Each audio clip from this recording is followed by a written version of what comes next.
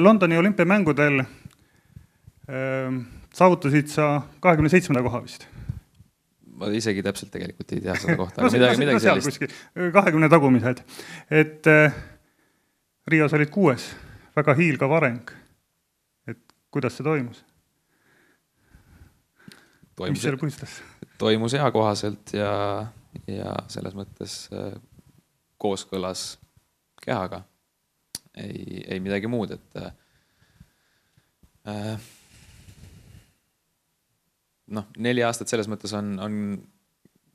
küllaltki pikk aeg, aga, aga neli aastat tagasi Londoni olümpial ma olin, olin kahekümne aastane vist ja, ja praegu kakskümmend neli, et selles mõttes meie eesmärk oli mitte teha üks selline nelja-aastane tsükkel, vaid äh, jõuda Riosse tõusvas joones äh, niimoodi, et see areng oleks, oleks sujuv, et selle nelja-aastase perioodi sees ma suudaks tõsta oma nii keskmist taset kui ka, kui ka üleüldist tippmarki, eh, et vähemalt korraks näidata sellist tulemust, mis siis eh, Rio olümpial noh, ma ei saa öelda, et tagaks finaalikoha, aga, aga vähemalt konkurentsivõimelist tulemust ja, ja selles mõttes kõik õnnestus eh, küllaltki noh, tagantjärele vaadates või ütleme, paberil vaadates küllaltki sujuvalt, et äh, äh, tulemus ara-, arenes üsna ühtlaselt, äh, samas ma ise suutsin olla terve või siis vähemalt noh, jääda terveks või, või minimaliseerida see, see risk, et kuskil midagi juhtuda võiks, et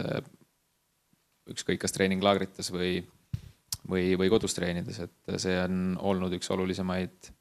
aspekte ja, ja tagantjärgi öeldes ma usun, et see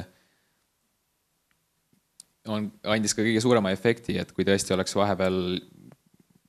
jäänud midagi tegemata või kuskil võistlemata mingisuguse noh, ükskõik vigastuse või, või muu trauma tõttu, siis, siis võib-olla see efekt ei oleks olnud nii, nii sujuv või,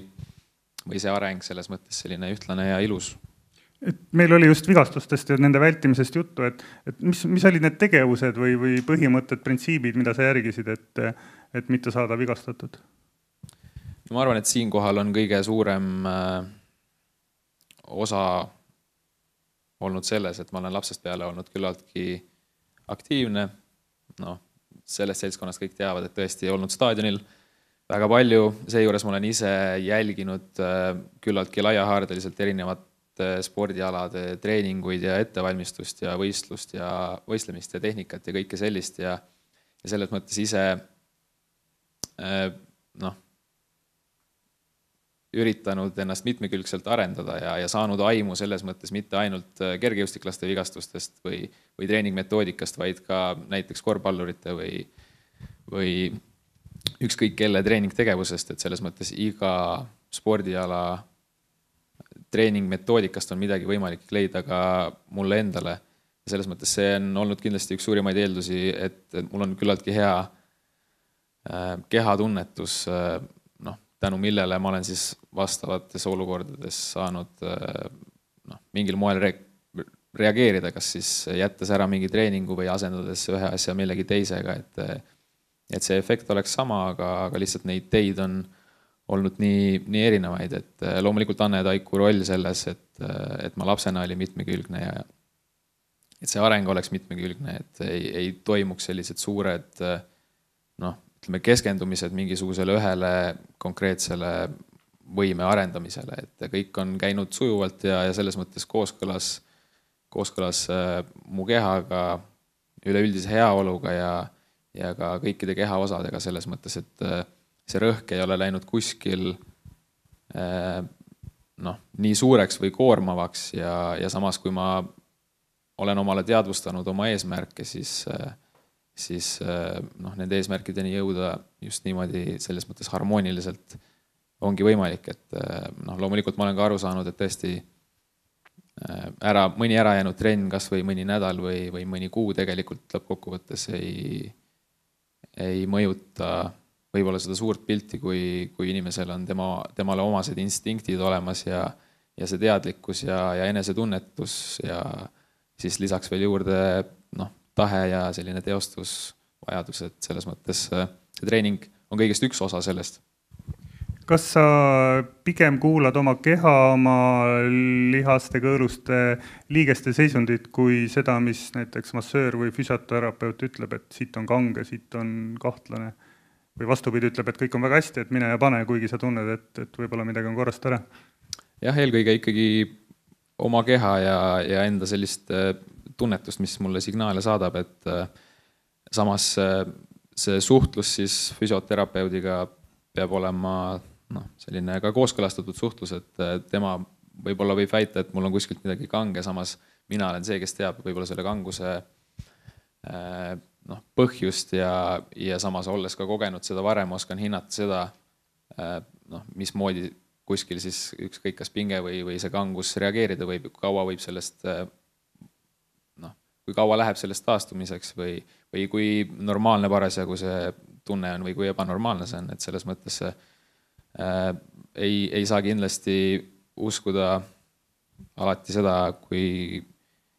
võib-olla just kui, selles mõttes uus või võõras füsioterapeut kinnitab, et kõik on ideaalne või, või kui ta kinnitab, et kõik on äh, täiesti halvasti, et, et mu iseenda tunnetus kindlasti, kindlasti on see, mis äh, määrab ära mu nii treenimise kui võistlemise kui ka üleüldise heaolu tavaliselt äh, õpitakse vigadest, et kas selle, selle tunnetamise, kuulamise käigus on olnud ka vale, valearvestusi, vale järeldusi? jah, absoluutselt, aga see valearvestus tihti tekib võib-olla sellisest äh, noh, ülemotiveeritusest või, või liigsest tahtest või, või just noorena sellisest äh, noh, valearvestusest võib-olla, et äh, tõesti kõik asjad on vaja, vaja ära teha. Äh, noh, hoolimata siis äh, oma, oma keha seisukorrast, et loomulikult mina olen seda vinti samamoodi üle keeranud, aga samas nendest vigadest ongi just enda, enda keha pealt kõige lihtsam õppida, et loomulikult need vead ei tohi olla selles mõttes nagu siuksed suured või, või pöördumatud, et aga oma vitsad jah, sellest ma olen kindlasti kätte saanud. kuna see eh, kuidas seda nimetada, võime tuli oma meeletut tahet, eh, mis sul kindlasti on eh, noh, võimalikult kainete otsustega kontrollida. seesama, et, et kui sa tunned, et kuskilt on mõni lihas, mõni kõõlus on kahtlane, samas treeningplaan näeb ette teatud treeningut, et siis, siis suudad selle treeningu edasi lükata või üldse ära jätta tuli see viimastel aastatel, tuli see varem või, või kuidas see? eks see on ajapikku selles mõttes täiustunud, aga, aga võib-olla kõige ilmekamalt just äh, mulle endale selle teevadki selgeks äh, need erinevad situatsioonid erinevatel võistlustel, mis siis äh, ja kui veel jälgida neid tulemusi ka, mis siis kaasneb, et ainult mina olen, pluss siis veel paar inimest see, kes teab võib-olla tausta,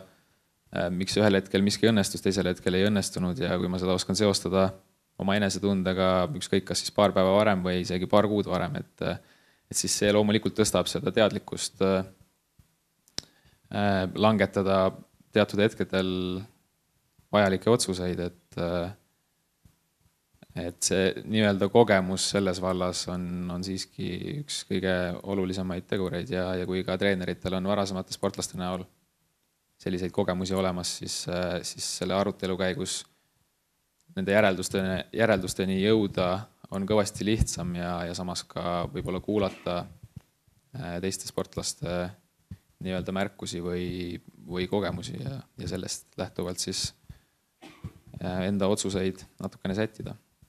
vigastustes, vigastuste kõrval üks, üks suurem probleem treeningus on õigete treeningkoormuste leidmine. et on olnud situatsioone, kus sa oled või kas on olnud situatsioone, kus sa oled liialt palju treeninud ja, ja kuidas sa oled seda märganud või avastanud, et et põhimõtteliselt mingitel perioodidel sportlane peabki väsinud olema, et, et siis pärast tõusta kõrgemale ja olla tiitlivõistlusel tippvormis.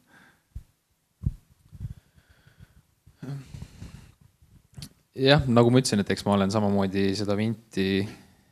äh, üle keeranud, et äh, noh, tähtis on võib-olla tun-, ära tunda see piir, et ei juhtuks sportlasega niimoodi, et sportlane hakkab nautima seda kannatust rohkem, kui ta tegelikult naudib seda lõppeesmärgi saavutust, et tihti paljud sportlased jäävad sellesse lõksu, et nad tõesti arvavad, et, et kannatus võrdub tulemus. et noh, mingis mõttes see tõesti niimoodi on, ükskõik mis, mis eluvaldkonnas, aga see ei saa selles mõttes minna selliseks obsessiivseks natukene, et, et mida rohkem ma kannatan, seda suurema põrke ma sealt august välja teen, et kindlasti kindlasti nii see ei ole, et kui see piir ära tunnetada, siis on natukene lihtsam ka, ka enda tegemisi sättida, et, et võib-olla see ebastabiilsus ei oleks nii suur, et need kõikumised ei oleks nii suured, et et ei, ei peaks treenima nüüd meeletult pikki perioode sellise väga suure surve all, et et loomulikult see kannatamine ja, ja üleüldse rutiin, kõik rasked treeningud, see on üks osa ja väga suur eeldus sellest, et et üleüldse tippvormi jõuda, aga, aga kui selle perioodi vältel kaob ära selline teadlikkus või, või teadvustamine sellest üleüldse lõppeesmärgist ja, ja kuidas sinna jõuda, siis ei ole sellel kannatamisel mitte mingisugust point, noh, mõtet ja, ja see ainult äh, limiteerib meie võimeid ja selles mõttes aheldab meid äh, selliste mittearendavate äh, noh, näitajate või, või üleüldse äh, tegemiste külge kas sul treeningprotsessis on mingid äh, teatud näitajad, markerid, kus sa saad aru, et, et oled kuskil sinna punase tsooni piiri peale jõudnud või punases tsoonis juba, on see, ma ei tea, halb tuju, mingid mm, lõigu läbimiskiirused, mingid muud, muud sellised, mis annavad sulle noh, niivõrd-kuivõrd objektiivset infot, et, et koormused on piiri peal?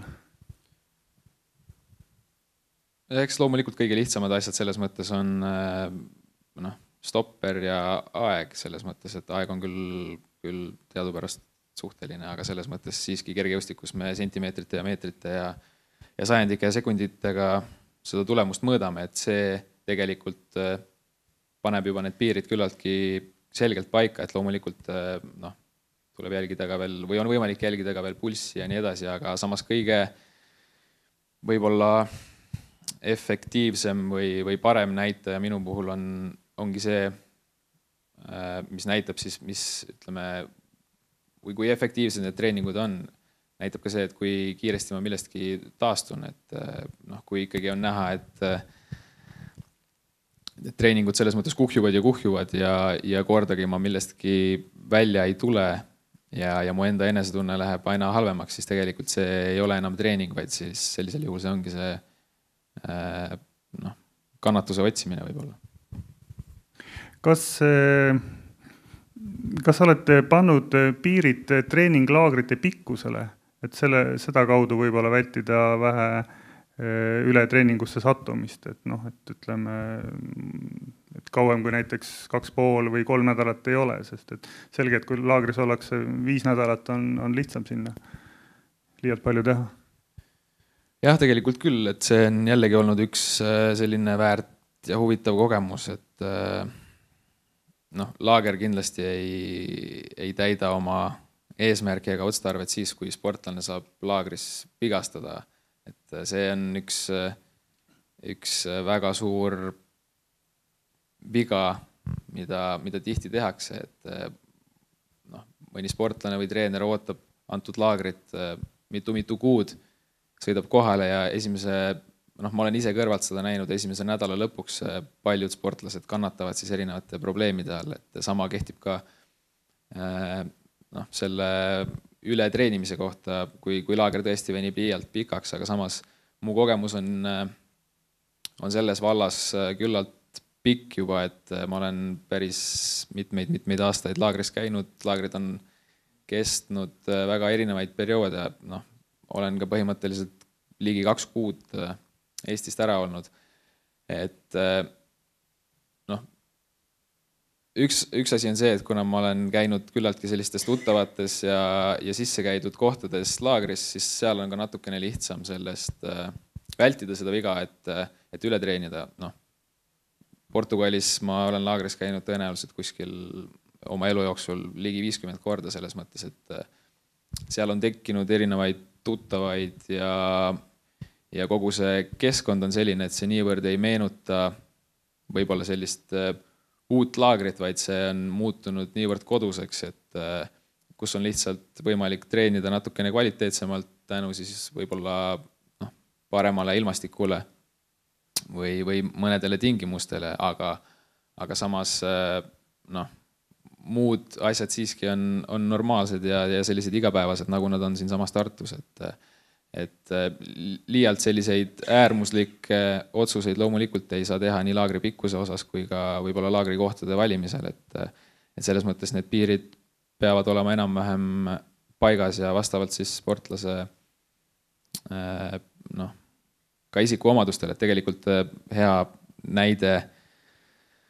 või uuring on tehtud siis seoses mäestikulaagritega, et äh, noh, teadupärast mäestikus olles on võimalik kah omale natukene teistmoodi liiga teha, et äh, samas erinevad inimtüübid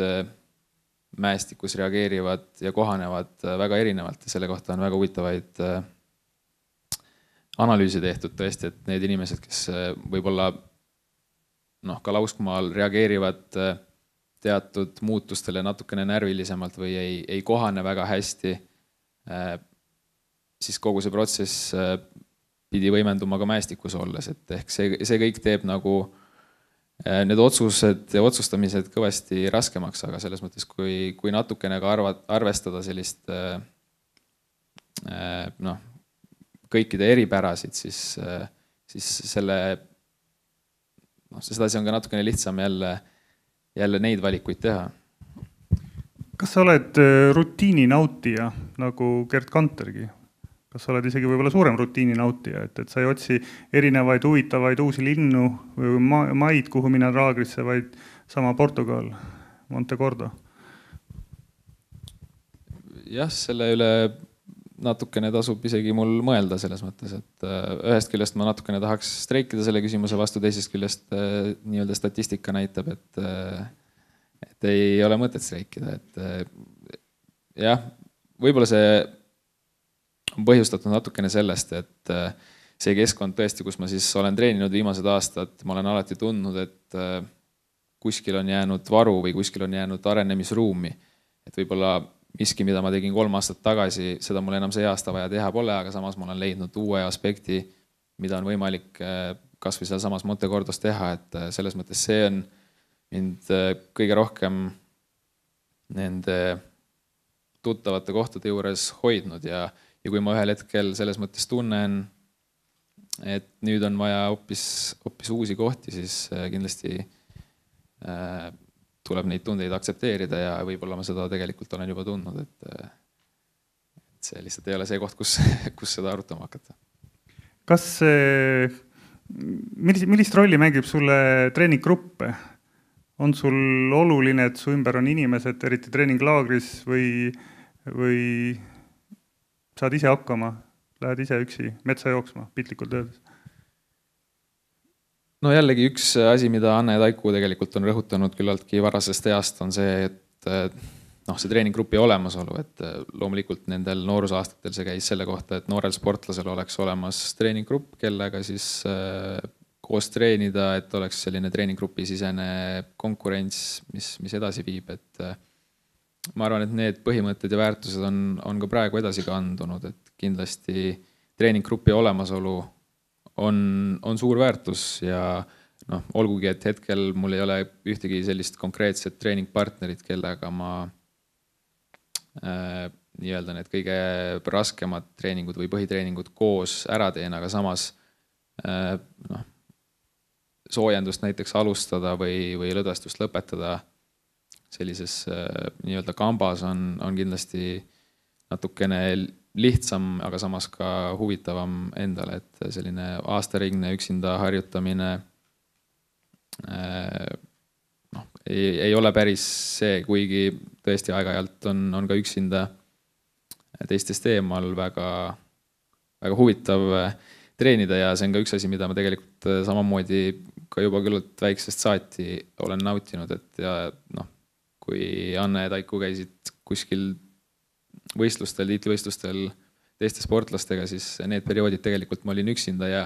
ja see andis mulle sellist aega ja ruumi katsetada erinevaid ideid ja mõtteid, mis mul oli tekkinud siis äh, teiste sportlaste jälgimisest ja, ja mul on hea meel, et ma need katsetused sain võib-olla tehtud noh, viieteistaastasena, kuueteistaastasena, seitsmeteistaastasena, sest et see tõepoolest avardas mu silmaringi ja üleüldist kehatunnetust, et neid hetki, kus ma olen pidanud tegelikult üksi hakkama saama nii võistlustel kui ka treeningutel või laagris, laagrites, et neid on olnud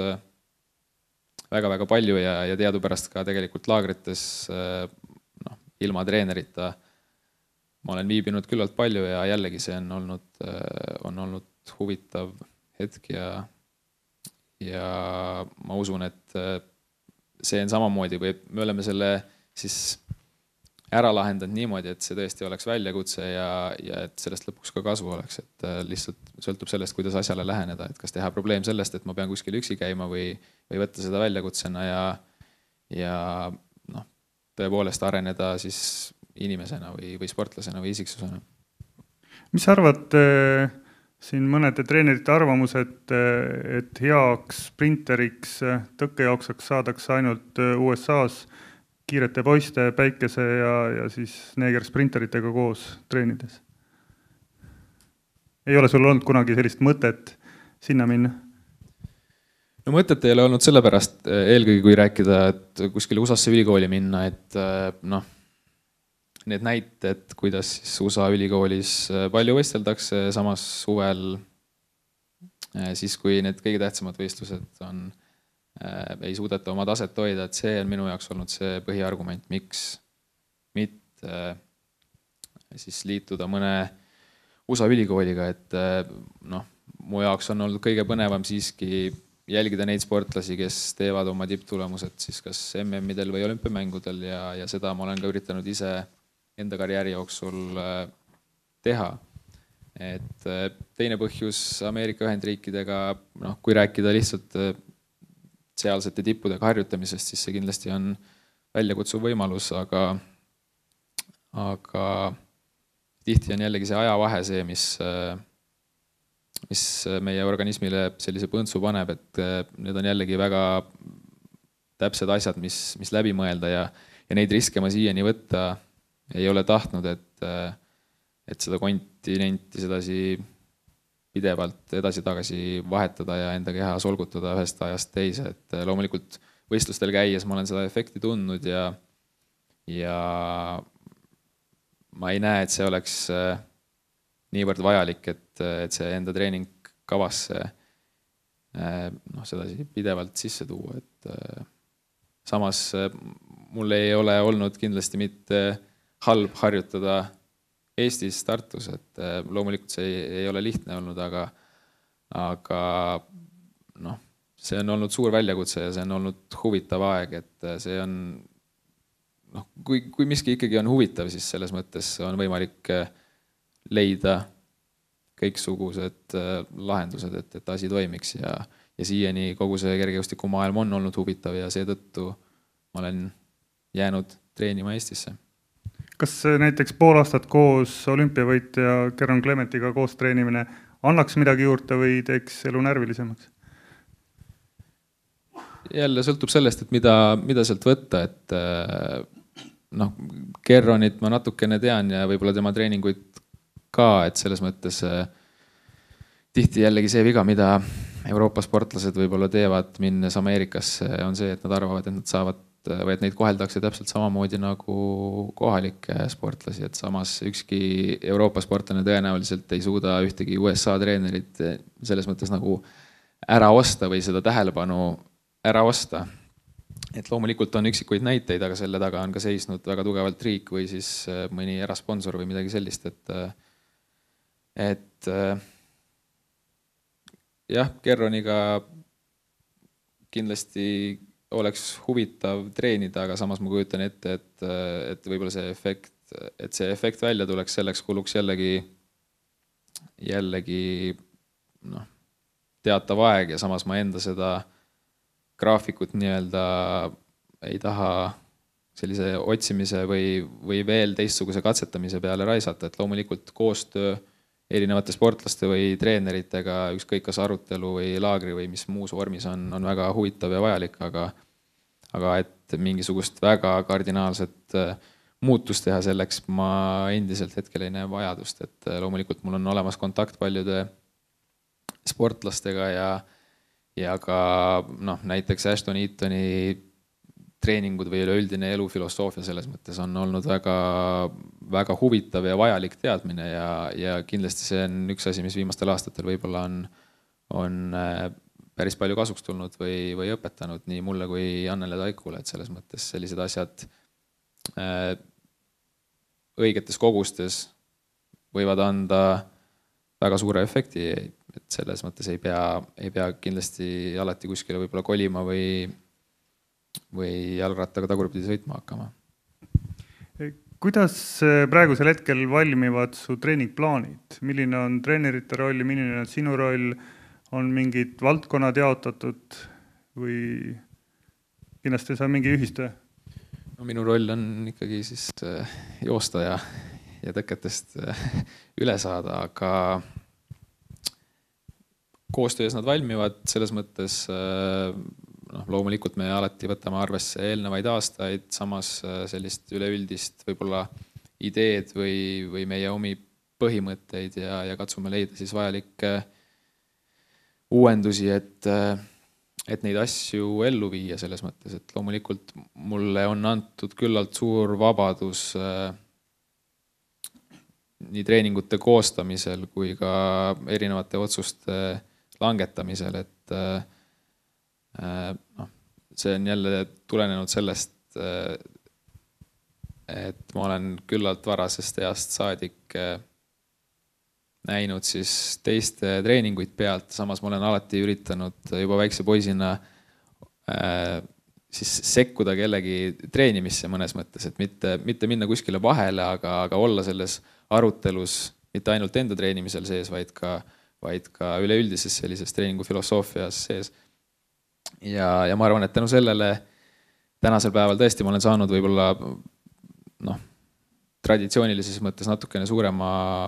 vabaduse äh, ka treeningplaanide koostamisel, samas ise ma siiski midagi, midagi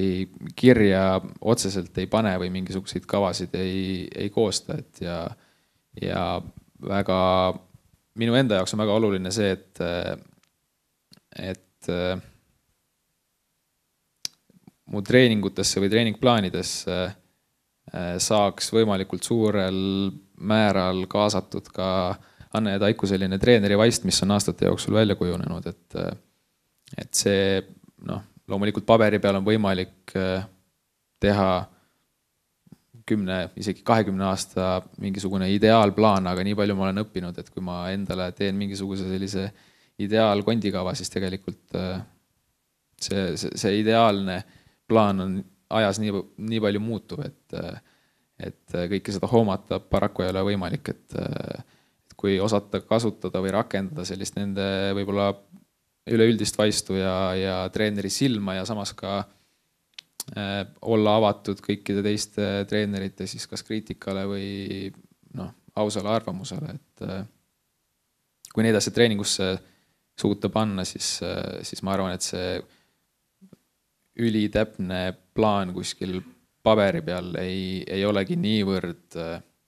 oluline kuivõrd on see, et äh, need inimesed, kes, kes on ümber, oleksid äh, hea silmaga, hea vaistuga, äh, noh, võimalikult laia, laia silmaringiga ja, ja enesekriitilised, et selles mõttes need, need aspektid on, on kindlasti samamoodi edasiviivad, aga, aga samas jah, siiski mingisugused põhiväärtused treeningutes või, või selline kondikava on alati olemas olnud ja, ja jääb ka edaspidi. et sa mainisid, et, et su treeningud mõjutab teiste treeningute, treenerite arvamused ja kriitika, et, et, et kuivõrd sa oled, no kuulad neid asju, kuivõrd sa leiad, et, et sinu treeningfilosoofia on selline ja või kuidas sa aru saad, mis on kasulik, mis mitte? selles mõttes ma ei pidanud seda silmas, et mind mõjutab kellegi arvamus, aga samas äh, on võimalik ikkagi aru saada inimesi tundes noh, nende siis äh, ausa arvamuse tagamaadest, et äh, mulle ma olen siinsamas Tartu staadionil ja, ja hallis üles kasvanud ja tean väga paljusid treenereid erinevatel võis-, erinevatelt võistlustelt, et noh, alati ka väiksest peast on, on erinevad treenerid mulle midagi soovitanud, ma olen mõelnud, et kas see kattub minu, minu sellise arvamuse või tunnetusega ja olen vastavalt reageerinud ja, ja selles mõttes äh, ka praegusel hetkel olen avatud äh, ükskõik mis treeneri või, või muu inimese avatud arvamusele, et äh, selles mõttes kellegagi vestelda ükskõik kas spordisisese või spordivälise inimesega on alati huvitav ja, ja noh, avardav igas mõttes, et see, kui palju ma endale midagi noh, millelgi ennast mõjutada lasen, neid asju on küllaltki vähe tänaseks päevaks, et eh, noh, selle tee võib-olla ma olen, olen läbi käinud, aga, aga samas kellegi arvamust on, on alati huvitav kuulda ja, ja ka kõige võib-olla väiksemast ja veidramast detailist tihti on, on võimalik eh, mingisugune huvitav idee või motiiv leida kes need välistreenerid on, kes, kelle nõu sa võib-olla kuulaksid või sooviksid saada, arvamust? on sul mõned kindlad aitajad? ega ausalt öeldes ma ei, niimoodi ei, ei oska kedagi konkreetselt välja tuua, et loomulikult ma olen laagrites erinevate äh, treenerite ja sportlastega kokku puutunud, aga, aga kedagi sellist äh, noh, konkreetset kelle poole ma esimesel võimalusel pöörduksin, ei ole, et, et äh, ei oska niimoodi hetkel ühtegi, ühtegi konkreetset nime öelda. et äh, sel aastal äh, juuli alguses olid Euroopa meistrivõistlused, et need ei läinud sul kõige paremini, et kas peale neid meistrivõistlusi kuidagi treeningplaane korrigeerisid, tegid midagi sellist, mida algselt ei olnud plaanitud? Et olla Rios nii heas vormis, nagu sa praegu oled? no ma ise võib-olla kogu oma agaruse juures ei olnud plaaninud võib-olla noh, paari lisapuhkepäeva, selles mõttes muud midagi, et et peale EM-i oli kõige olulisem mul endal aru saada sellest, et ma tõesti olin natukene väsinud ja, ja emotsioonitu ja, ja tühi, et kui seda endale teadvustada, siis jällegi selle aja jooksul ei, ei olnud võimalik äh, midagi täiesti kardinaalselt teistsugust teha, et äh, oli võimalik natukene valida võistlusi, sättida seda võistlustele eelnevat aega, kuidas, kus võistelda, et, äh, et muud, muud selles mõttes mingit täiesti erinevat ma peale seda ei teinud, et äh, selles mõttes selline väike ebaõnnestumine oli, oli mõnes mõttes värskendus ja, ja juhtis mind pigem võib-olla iseenda sees õigemale teele, kui ma seda olin äh, enne EM-i. vaadates nüüd edasi Tokyo olümpiamängude poole, et, et kas äh, on, on mõttes ka mingeid äh, strateegilisi muutusi, et arendad rohkem näiteks mingit kehalist võimet või, või tehnikat või, või tõstad mahtu, tõstad intensiivsust või, või mingi selline võrreldes eelnevate treeningutega? no ma arvan, et äh, kõikide nende viimaste aastate mahtude juures ei ole otseselt otstarbekas nüüd meeletult suurendada mahtu või muuta oma keha mingil moel kobakamaks, et eh, saada reie ümbermõõt või sääre ümbermõõt suuremaks ja samas tõenäoliselt ei ole ka seda mõtet kunstlikult kuidagi väiksemaks, eh, noh. selles mõttes eh, noh, mingisuguse dieedi või millegi abil ennast nagu jõuetumaks teha, et mul on see keha, mis mul praegu on, sellega ma usun, et ma suudan veel mitu-mitu aastat äh, heal tasemel joosta, et äh, kõige tähtsam, ma usun, et ongi see, äh, kuidas võtta see, see kogemus, mis, mis me saime Riost ja nendelt eelnevatelt nädalatelt ja ja see panna ka kogu sellisesse ettevalmistusperioodi sisse, et, et keha oleks võib-olla tihedamalt värske ja, ja see enesetunne oleks parem ja kiirem ka ettevalmistusperioodi vältel, et, et mitte ei oleks selline ainult suur kaevamine, et selles mõttes ega ma kah enam nooremaks ei jää, et äh, seda keha tuleb ju juba ka praegu aina paremini kuulma kuulma õppida ja kuulda võtta, et selles mõttes ma ei ütle, et mul on olnud väiksed mahud, kindlasti on ka inimesi, kellel on suuremad mahud, aga selline optimaalne,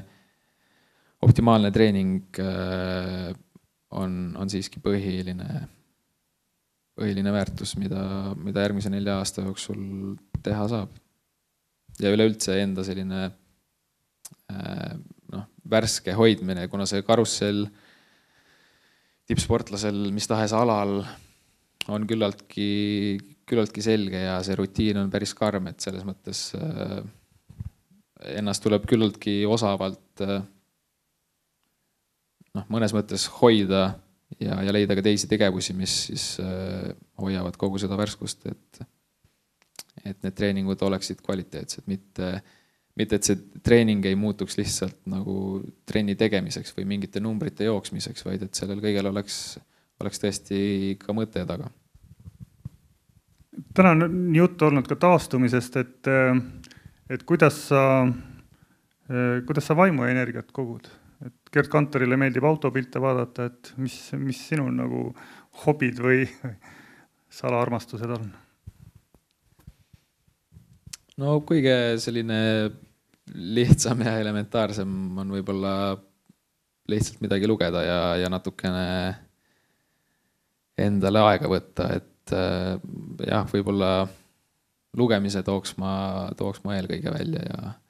ja tegelikult ka teiste spordialade jälgimine on ju see, mis, mis on huvitav vaheldus ja, ja õpetab nägema enda ala või enda käitumist või tegutsemist ka teise nurga alt, et äh, ma arvan, et see on värskendav igal juhul. kuivõrd äh, suur pabistaja sa oled, et, et on sul äh, kõva stardieelne erutus, ärevus, ebakindluse mingid hetked enne tiitlivõistlusi? no siiani ma ütleks, et ükski äh, suurvõistlus viimastel aastatel mul selle taha küll jäänud ei oleks või, või ükski tiitlivõistlus ei ole selle pärast nurjunud, et ma nüüd kuskil hullupööra abistaks, et eh, noh, neid starte praeguseks on ka juba piisavalt, aga aga tõepoolest, esimesed aastad võib-olla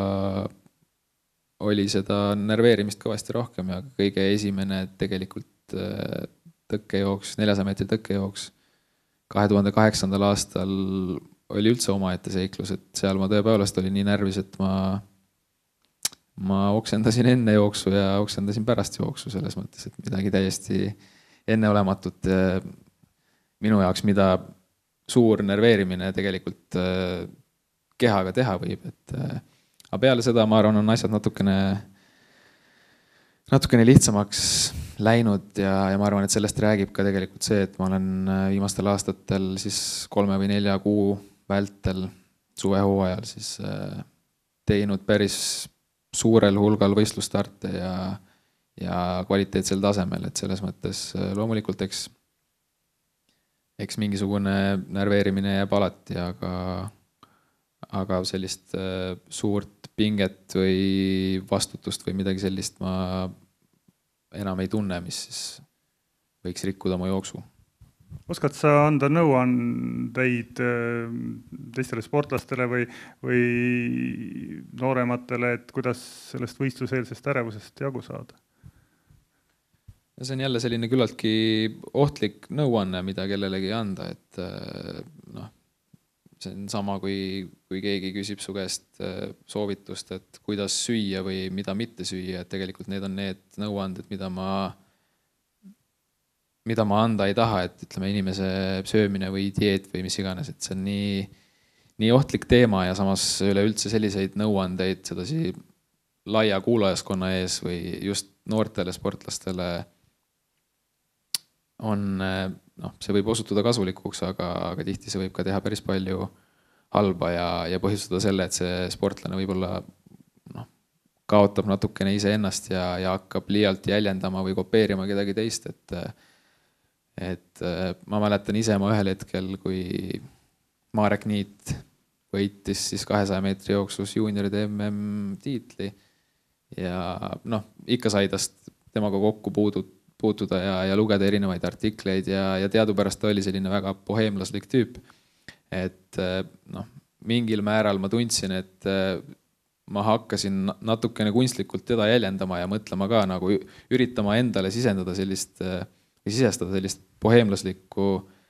noh, mitte eluviisi, aga, aga suhtumist mõnesse küsimusse ja, ja tagantjärgi vaadates, okei okay,, see andis mulle küll hea õppetunni, aga, aga teisest küljest see, see ei ole see, mida ma tahan, et teised noorsportlased minu eeskujul teeksid või et nad kuidagi sedasi käituma hakkaksid, et eks meil kõigil on see, see tee vaja läbi käia, et, et alati ju tulevad järgmised võistlused ja ja treeningud peale, et äh, kui, kui oma eesmärkides või üleüldse väärtustes kindel olla tegelikult, siis mis see, mis see nerveerimine ikka on, et küll see, küll see, küll see ühel hetkel üle läheb. mis võiksid olla sinu, sinu kolm-neli mõtet äh, noorsportlastele, kes, kes on vaadanud sinu võistlemist ja soovivad samamoodi jõuda olümpiafinaali? mis on oluline?